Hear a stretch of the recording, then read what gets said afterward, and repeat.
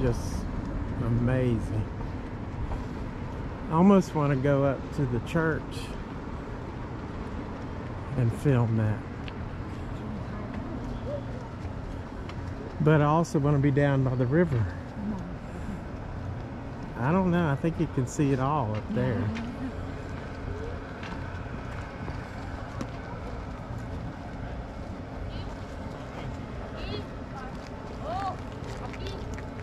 Look at this town. This.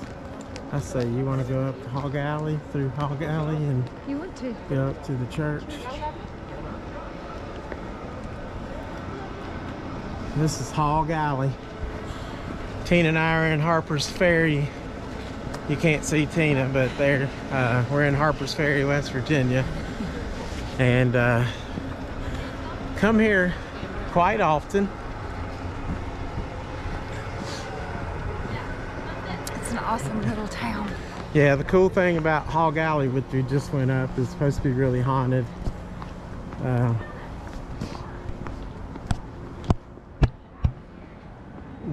there's a story about how we're on Hog Alley, they would basically toss the people that they killed into the to the hogs right through there. Oh, look at the sky.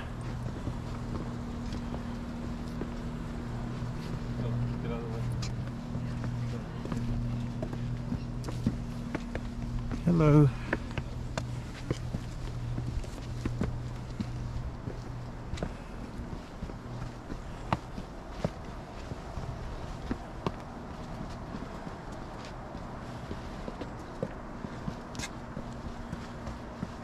So one of the stories was the people in the town captured one of John Brown's men and fed him to the hogs after they killed him. I guess to hide the evidence. But they probably didn't really care. So it's a crazy time.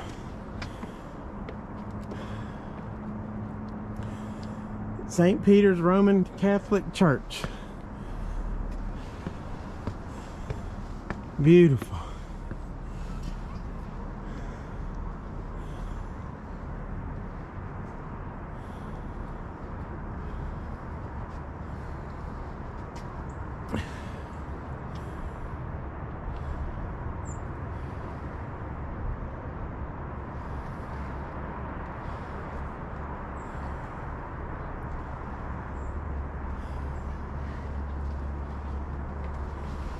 And right there,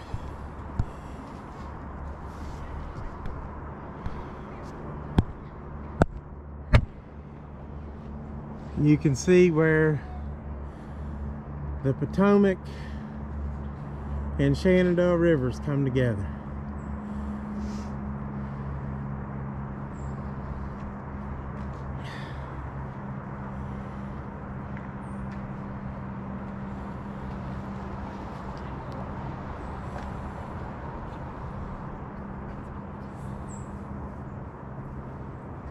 It is gorgeous. It's beautiful.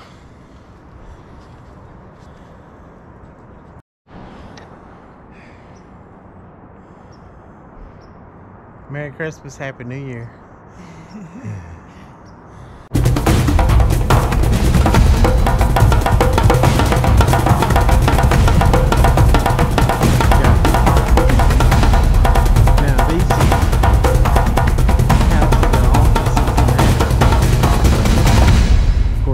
stories of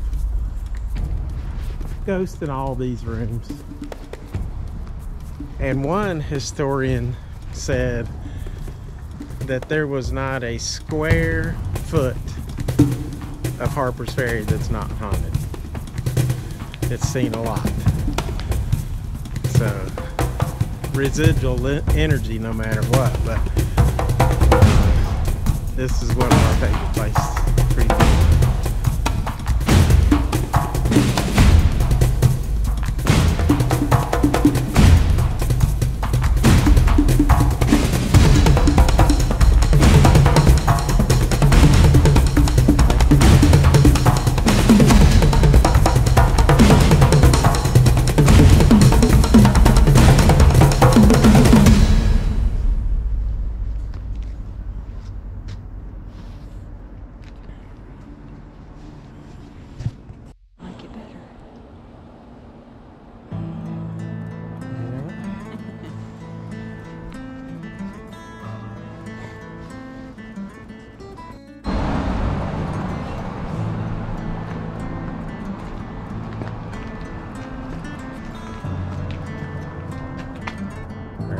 John Brown himself. Free the slaves. Oh, that's cool. You can hear the church bells.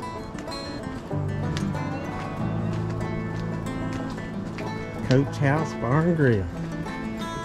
It's not open. Oh, cider. Oh man, that would be so good right now.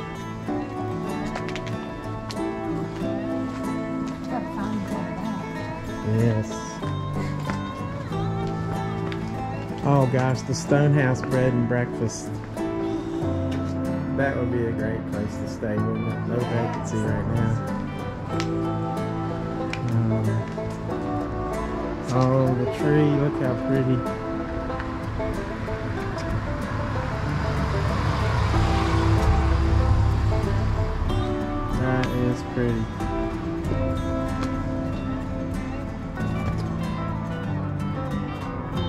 That'd be cool to stay in a bed and breakfast there.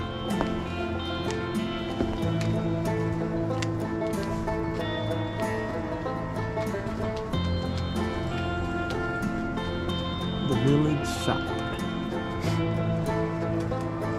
Oh, we've been in there. That's a cool place with the candy.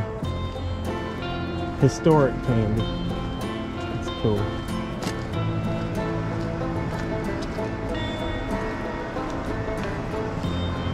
And here's a little ice cream shop. When you come here, just get the ice cream. We bur- we ordered a burger here one time, and Just get the ice cream. unless they have new owners, just just get the ice cream. Exactly.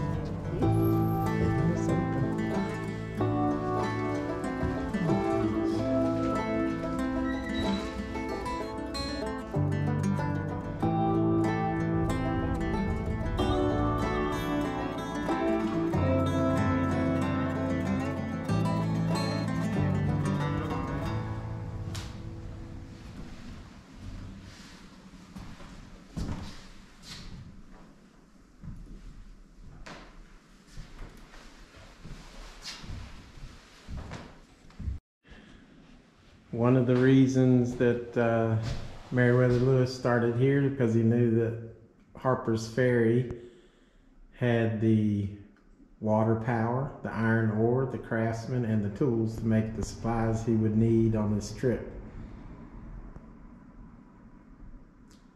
So that is pretty cool. 1803. Pretty cool. Wait. I mean, Harper's Ferry, you feel like you've gone back in time. Church on the hill right there.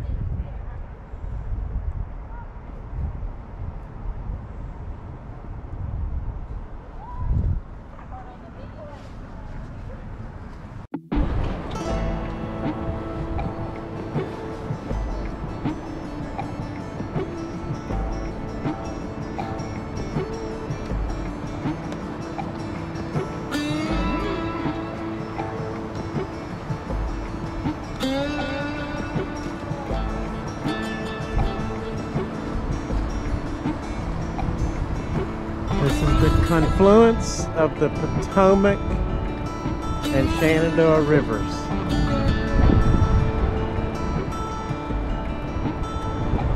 The moon is coming out behind those clouds.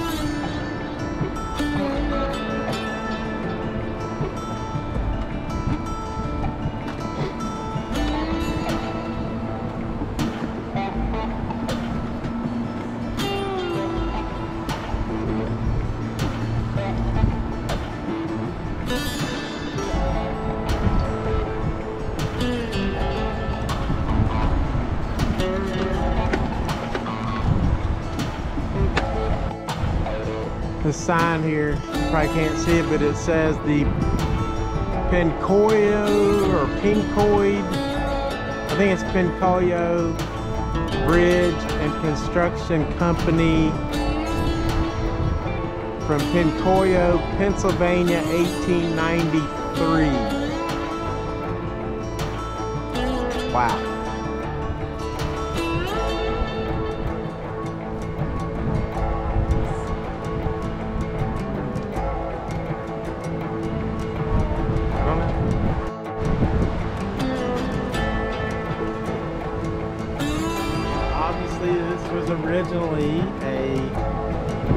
Train bridge.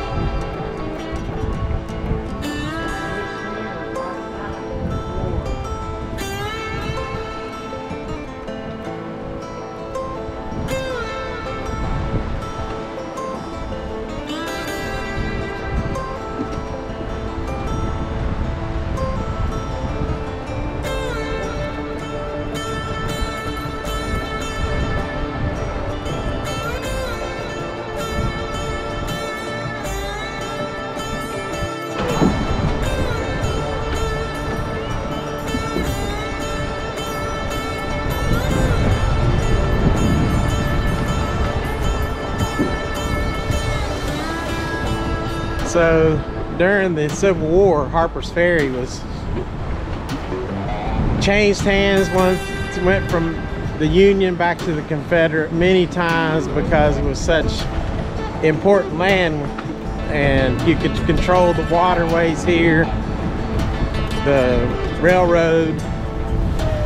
They had rich uh, iron ore, so it was a big important spot that's why it's so much important in history the, a lot of battles. And it was the what happened here with john brown was the what they ca- call john brown is the meteor to the war because he's the one that really highlighted the uh, the desire to free the slaves in the south. And uh, so that became a big big issue, obviously, heading into the Civil War. So that was in 1859, October of 1859, and John Brown held the little arsenal for like 36 hours. And his desire was to get the ammunition and the weapons here, take that, and go down south. But when the the word came from uh, to DC that uh, the arsenal had been raided.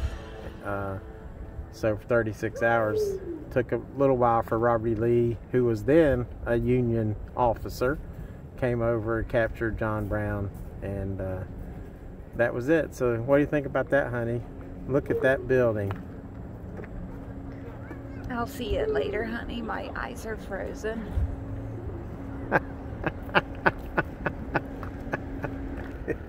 She's right because it is like 20 something. We are freezing.